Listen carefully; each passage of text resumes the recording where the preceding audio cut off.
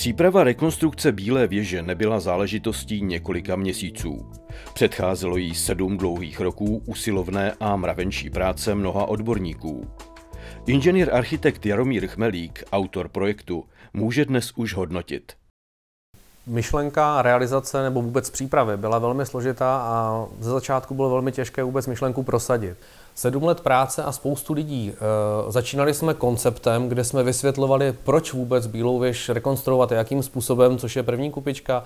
Pak vidíte další kupičku zaměření Bílé věže, e, obrovská práce pomocí 3D skenerů, průzkumy, opět samostatná kapitola, z čehož se asi nejvíc vymyká stavebně historický průzkum, velmi podrobný, kolega Václavík, Eh, pak přišla dokumentace pro stavební povolení, abychom vůbec tu věc mohli stavět, a pak realizační, která ukazovala detaily, jak věc realizovat, a na závěr samotná stavba, která přinesla spoustu nových vstupů a dalších detailů.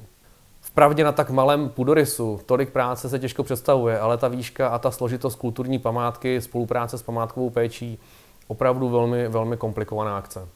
Vlastní realizace proběhla velmi, velmi příjemně, protože stavební firma pochopila, že je potřeba tu věc uchopit jiným způsobem a e, dovolila jistou, jistou míru mm, improvizace přímo na stavbě. Spoustu detailů jsme právě vymýšleli přímo na stavbě.